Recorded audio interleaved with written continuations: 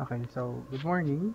Um, today we are discussing or we are going to solve uh, situational problems or word problems involving parabolas. I have here two examples only. Uh, merong example sa libro nyo, sa textbook nyo. It is isa lang din. So, let's see.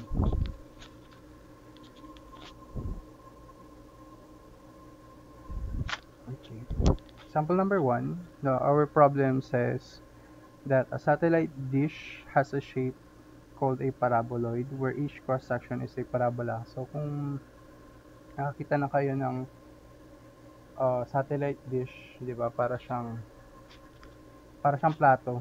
Kaya nga tinawag siyang dish. Kaso medyo curve siya na hindi naman masyadong uh, ang tawag dito, hindi rin naman masyadong malalim na kagaya ng mangkok. No, parang more of plato talaga siya. Kaya tinawag na satellite dish. At um, paraboloid, syempre, uh, 3D yan, solid, ano yan, solid figure. But pag sinabi mong paraboloid, which cross-section is a parabola. Okay, and since radio signals parallel to the axis will bounce off the surface of the dish papunta sa focus, the receiver should be placed at the focus. Uh, that is one um, application of a parabola. Actually, hindi lang siya sa satellites, um, kahit sa mga mirrors, kung maalala nyo ng grade 10 sa physics, no? we, if we pass a light ray parallel to the axis of the parabola, lahat ng yun ay dadaan sa focus. And so, in-apply din siya sa communications, electronic communications sa mga satellite, na kung saan kapag magre-receive ng signal yung satellite, pupunta siya sa focus. Okay, dahil nga kapag parallel sa axis ng parabola yung signal, ay marireceive siya, magbabounce siya papuntang focus nangyayari, nilalagay yung receiver, actually yung antenna, antenna receiver doon sa may bandang focus para ma-receive yung maximum, magkaroon ng maximum reception.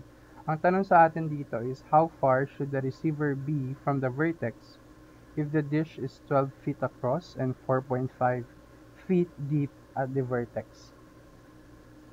So it's better na magkaroon tayo ng diagram or drawing natin So, ganito yung magiging itsura or ganito yung itsura ng um, paraboloid na tinatawag. Satellite dish. 12 feet siya dun sa taas. Ibig sabihin, kapag tinitignan mo siya sa taas, yung diameter niya, ito, mula dito hanggang doon, that is 12 feet. Tapos yung lalim niya naman, that is 4.5. So, mas maganda for simplicity and para mas madali, mabili na, mas madaling um, ma-solve, ilagay na lang natin, okay, i-place natin yung vertex or yung dulo ng parabola or ng ating satellite dish sa origin. Like so. so parang ditong sa ating second diagram, nilagay natin yung vertex or yung bottom part ng satellite dish or ng cross-section ng parabola sa origin which means 0, 0. And because of that, since 12 feet across yon ito yung 12, yung nasa taas. And since nasa origin yung vertex natin, yung y-axis natin, yun yung axis of symmetry. Ibig sabihin, hahatiin niya yung parabola into two equal parts. Because of that, yung coordinates na ngayon ng points na to, yung dulo, um, yung mga dulong taas ng ating satellite is ang kanyang x coordinate is negative 6 sa left and then sa right positive 6 kasi from here to here ang distance niyan of course 6 units from the vertex papunta dun sa dulo 6 units that makes 6 plus 6 12 feet which is the description nga nung satellite natin which is 12 feet across yung 4.5 deep naman sabi niya yun yung from yung pinakamataas na part ng satellite papunta sa ating vertex. Yun yung lalim ng parabola, which is 4.5 feet deep.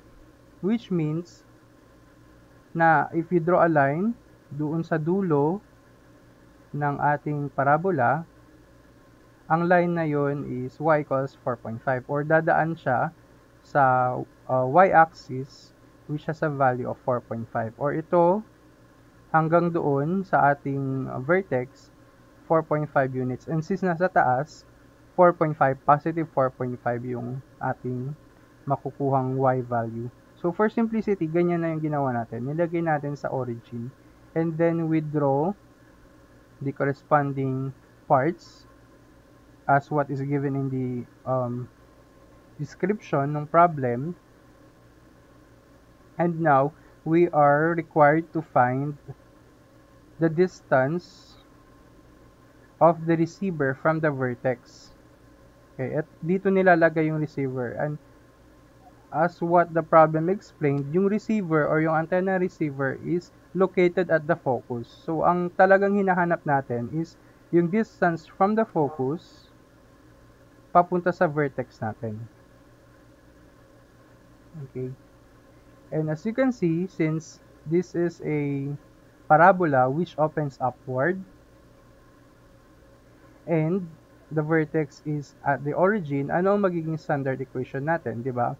Remember ry, ux. If it opens upward, si x po ang merong square or ang kanyang degree ay 2. So, magiging x squared equals 4c y. Okay, bakit wala tayong HK? Kasi nga, nasa origin tayo.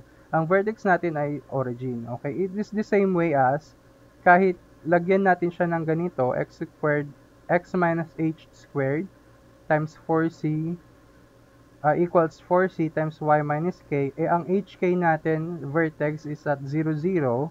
So, pag ziniro mo yan, babalik lang din tayo dito.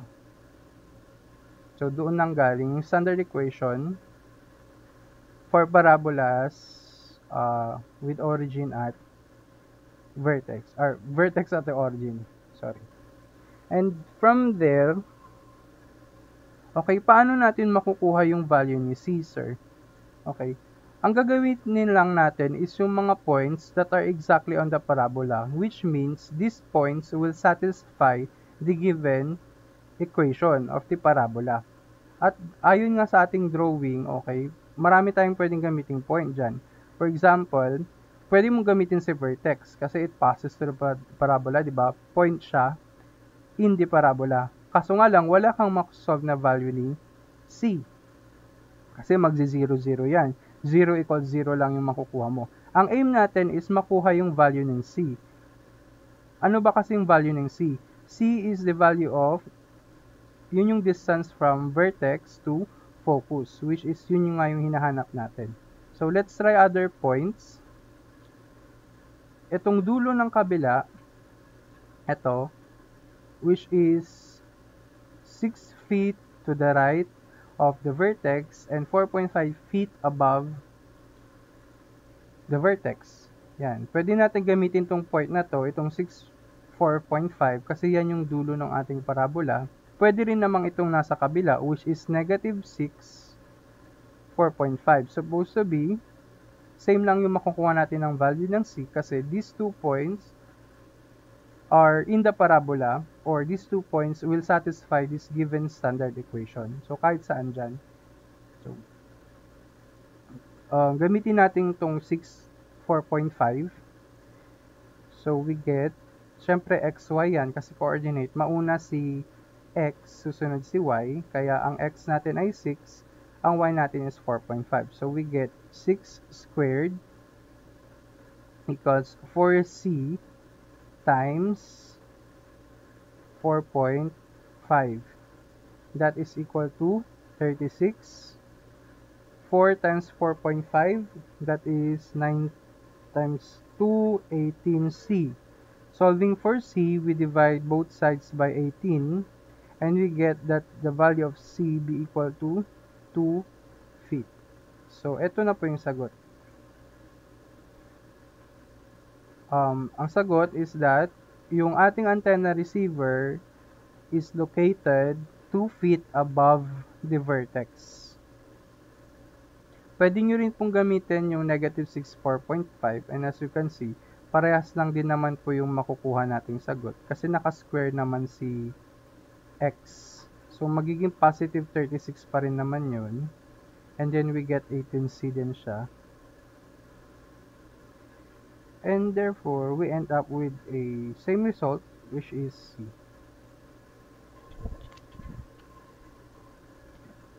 Moving on to the next example.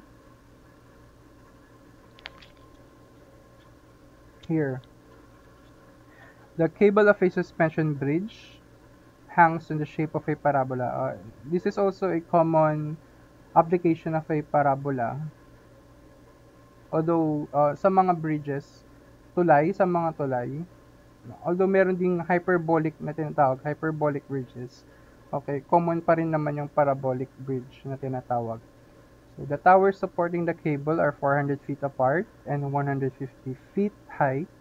If the cable at its lowest is 30 feet above the bridge at its midpoint, how high is the cable 50 feet away from either tower? Anong pinagsasabi niyan, sir? So, dahan-dahanin natin kung magkakaroon tayo ng rough sketch, uh, syempre, gawin natin ulit na nasa origin ulit. Sabihin na natin nasa y-axis. So, kung meron tayong tulay, kunwari ganyan, ito yung tulay natin, sabihin natin yung tulay natin nasa mismong x-axis. So, kung mapapansin nyo, syempre, kailangan niya ng support. Lalagyan natin ng poste dito sa magkabilang dulo. Ito mismo yung tulay ah, yung nasa x-axis. Lalagyan lang natin ng support, parabolic. Tapos meron siyang support dito sa magkabilang uh, dulo. Suspension bridge kasi siya. Ibig sabihin, may mga tali-tali dito. Actually, may mga metal ayan, na tali siya na metal. Kung na, na kung na na-visualize nyo, para uh, tawag dito, mabuhat pataas yung bridge kasi nakasuspend siya. Suspension nga, nakasuspend lang siya.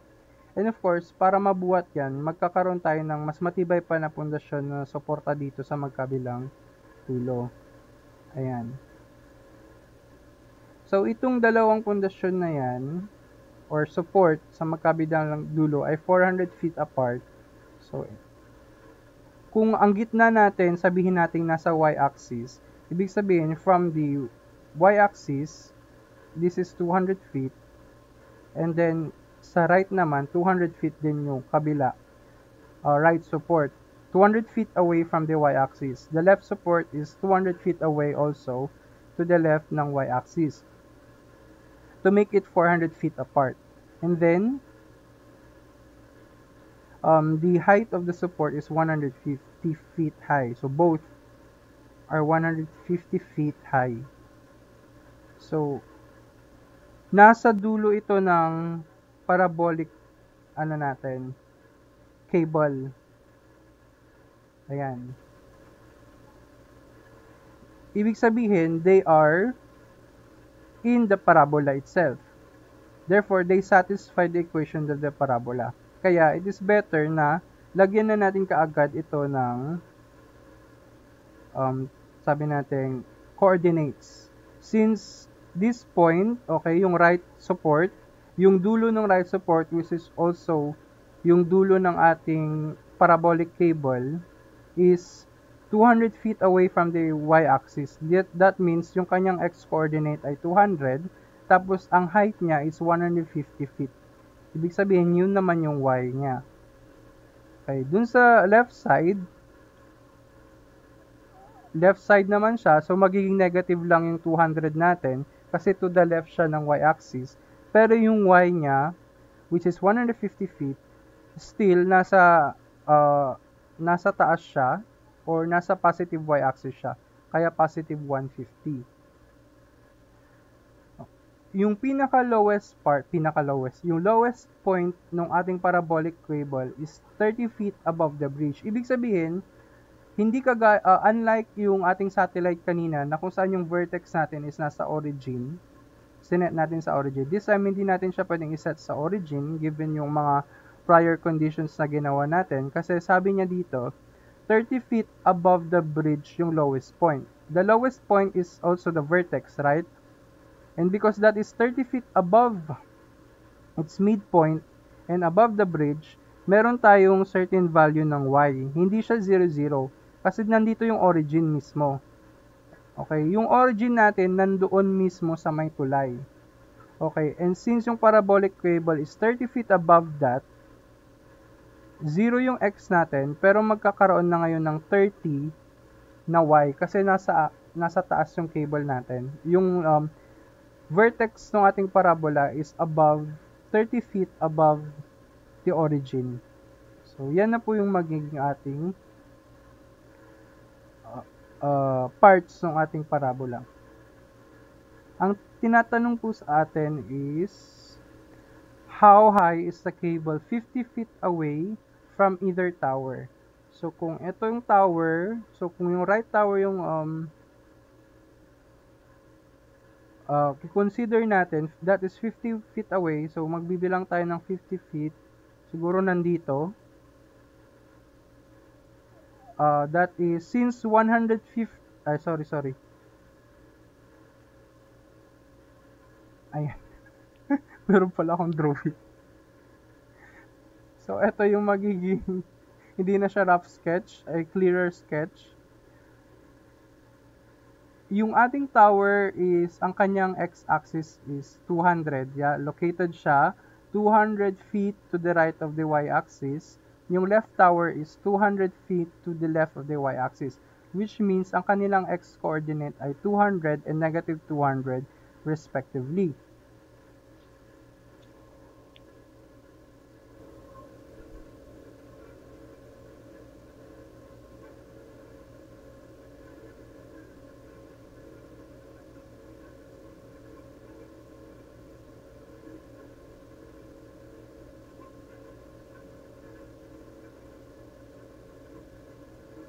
Ayan.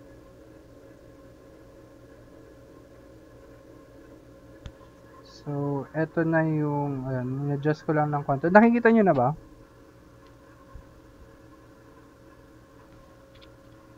So, again, yung dalawang support natin, at support towers is 200, yung isa, yung right support is 200 feet to the right ng y-axis and yung isa 200 feet to the left of the y-axis and therefore ang kanilang x-coordinate is 200 and negative 200 respectively.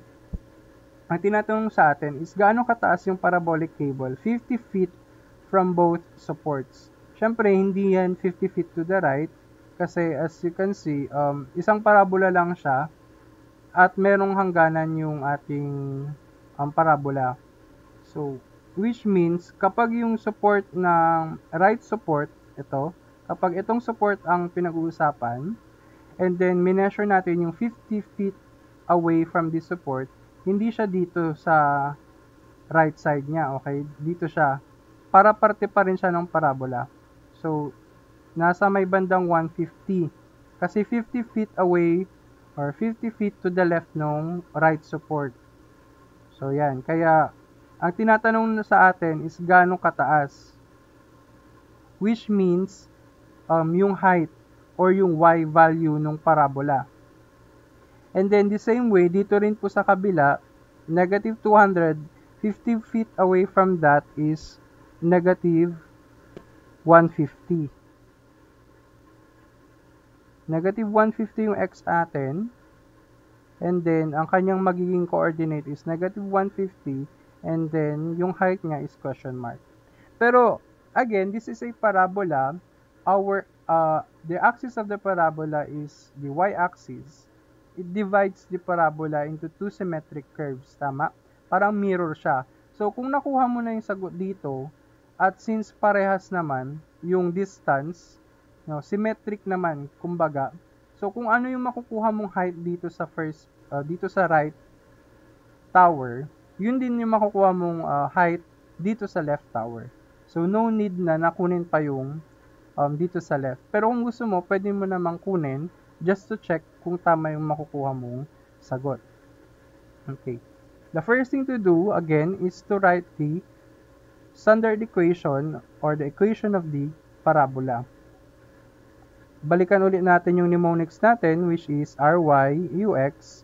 Again, the parabola as we've seen in the figure opens upward. Therefore, ang variable natin na merong degree na 2 or yung squared variable natin is yung x. Yung origin na or yung vertex natin is wala na sa origin and therefore magkakaroon na tayo ng vertex na h minus k squared equals 4c times y minus k. Ito na yung standard equation ng parabola na opens upward at ang may vertex na hk. Obviously, yung vertex natin is 0, 30. Yun yung lowest point, point ng um, parabolic cable. So, substitute natin, yung h natin ay 0, yung k natin is 30. Therefore, we get, kung 0 yan, so magiging x squared na lang yung left side. And then the right side is equal to 4c times y minus 30. Ang hinahanap natin is yung point in the parabola, yung height ng parabolic cable 50 feet away. So, gagamitin natin itong coordinate na to. X coordinate, coordinate natin ay 150. Ang Y coordinate natin is question mark. Pwede ba nating i-substitute agad dito? May masasolve ba tayo dito? Wala. Kasi dalawa yung unknowns natin. Hindi natin alam yung Y, tapos hindi din natin alam yung C. So, ang pwedeng gawin natin is what? Kunin muna natin yung value ng C. Okay? Gamit yung ibang equations which are, which are still uh, which still satisfies the given equation of the parabola or Gamitin natin yung ibang points na still it passes through the parabola or is a part of the parabola. So, pwede natin gamitin itong 200, 150. Pwede rin natin gamitin, hindi natin pwedeng gamitin itong 030, again, yung vertex, kasi magzi-0 equals 0 lang din yan. So, other than the vertex, pwede natin gamitin itong 200, 150, kasi part pa rin siya ng parabola or nakikita natin tong point na to sa parabola na to, and therefore it still satisfies the given equation. So, using 200, 150, we solve for C. We get 200 squared equals 4C times 150 minus 30. 4, 1, 2, 3, 4 equals 4C times 120 and that is equal to 4c times 120 480 c solving for c we divide 480 on both sides and ang makukuha nating c is equal to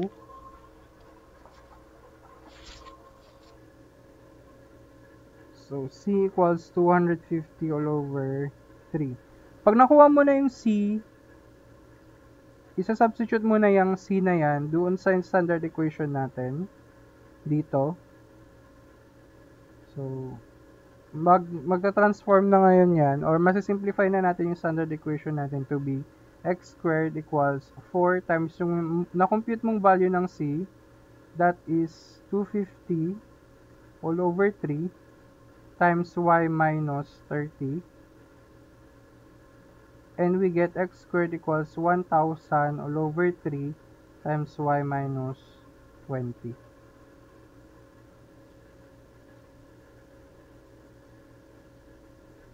Okay. Ito na ngayon yung magiging working equation natin. Uh, so, where did you get the y minus 20? Ah, sorry. Sorry. That's y minus 30.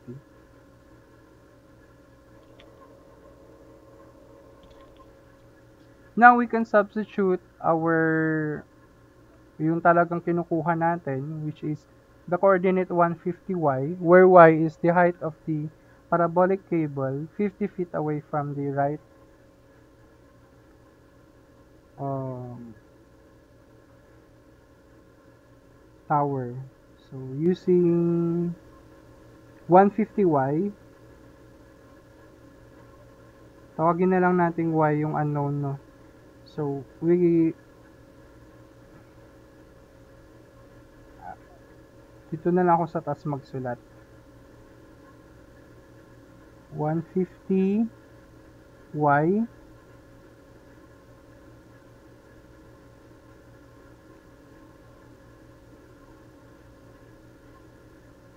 So using x squared equals 1000 all over 3 times y minus 30, we substitute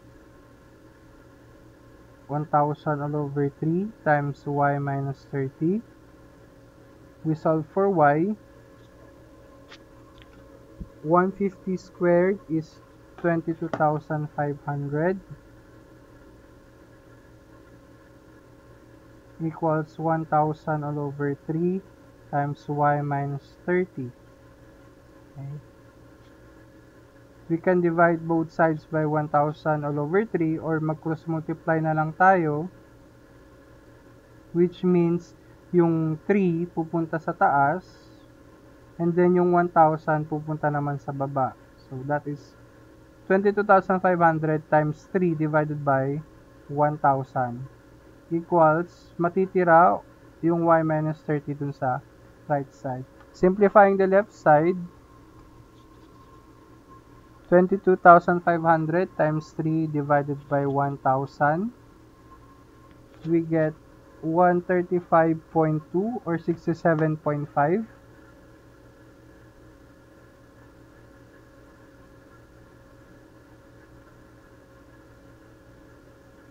which is equal to y minus 30. Um, transpose natin yung negative 30 para masolve lang si y.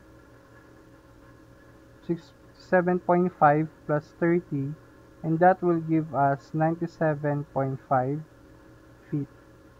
Okay. Therefore, yan na po yung sagot. The height of the parabolic cable 50 feet away from the right tower is 97.5 feet. And since dun sa kabilang tower, symmetric po tayo, ganyan din po yung makukuha natin. 97.5 din po.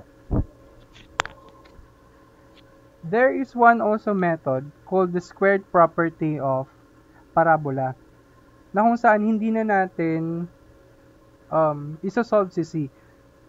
Okay. In this method, you are not required or hindi mo na kailangang um, isolve pa si C or si 4C or si C dyan. And then you substitute it again. And then you solve for the okay how is the squared property of a parabola works? I'll just is it okay? I'll how do we use the squared uh, property of a parabola? Okay. Given that we already have the standard equation of the parabola. In this um, example, x squared equals 4c times y minus 30.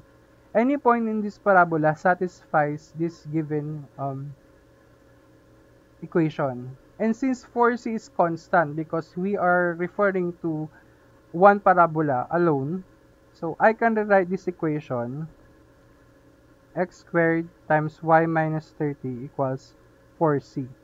4C is actually constant. It means hindi yan magbabago. It will never change what uh, whatever the value of x and y is.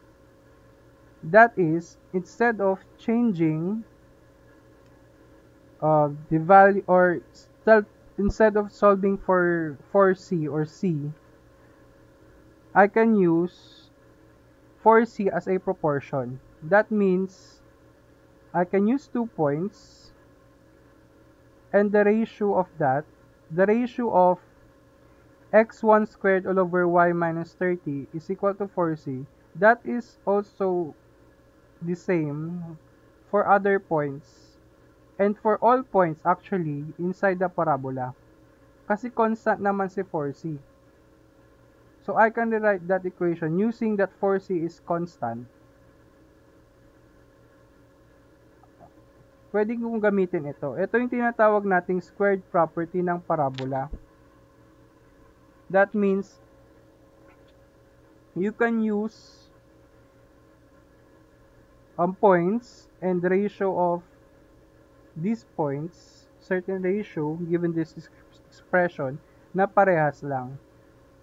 And from here, I can use any two points in the parabola and it will satisfy this equation.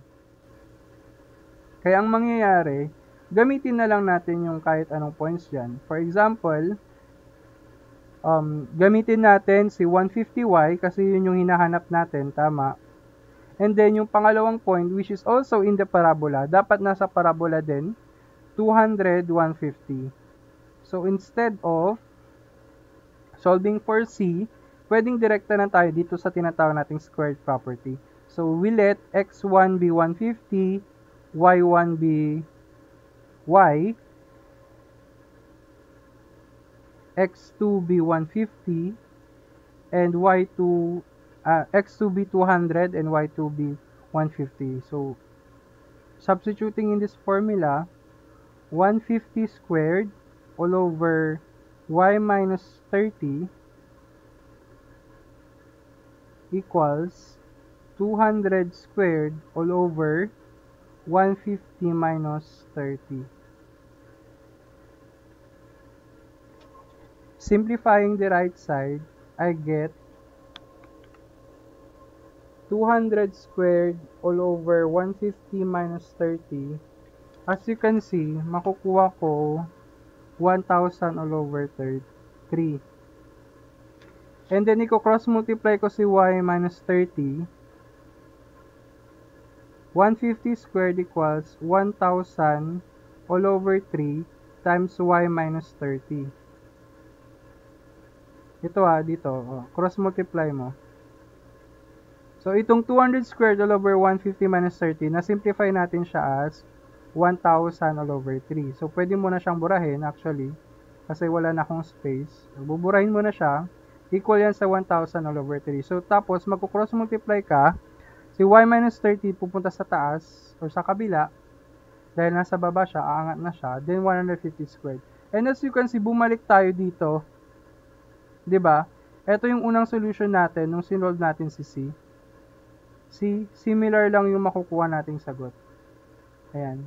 At kapag um, kinontinue natin, ito, solving for y, we still get the same value of 97.5.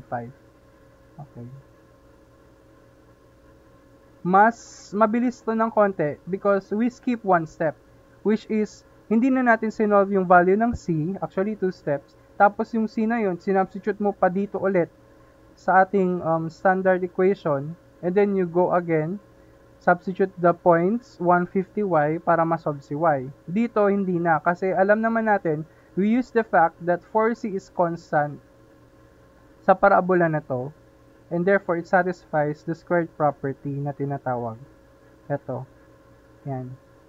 That means yung ratio na ito ay equal lagi sa 4c. So, medyo mas mabilis siya. So, pwede natin gamitin to instead of um, solving for 4c. Kasi, hindi naman tayo required na hanapin si 4c. Okay. Not unless the problem states that you are required to get C, yung distance ng vertex of focus. Pwedeng gawin mo ito para at least you hit two, bird, two birds with one stone. But since hindi naman siya required in this problem, kahit hindi mo na siya kunin, gamitin na lang natin yung squared property ng parabola. Any questions dun sa squared property ng parabola? At dito sa partic sa example na to. Okay, wait, I'm gonna share.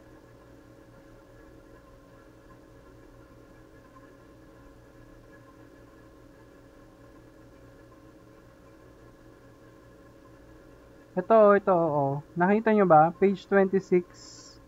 Di ba last time ang pinagawa ko sa activity 4 yung 1A and 2A? So this time you solve number 3. This, an architect is trying to design a parabolic arc. Blah, blah, blah.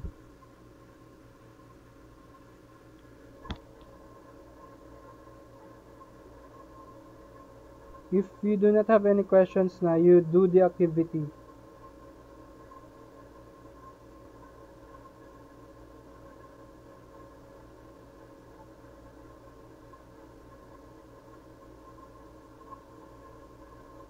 That is that is due today 12 p.m.